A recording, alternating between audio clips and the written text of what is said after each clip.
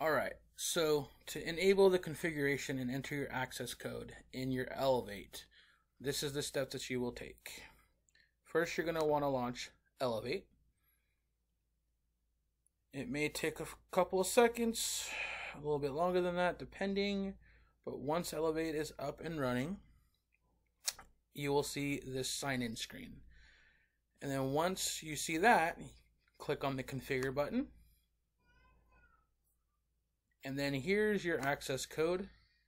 You want to take your access code and enter it in the new computer you're downloading Elevate to and hit apply.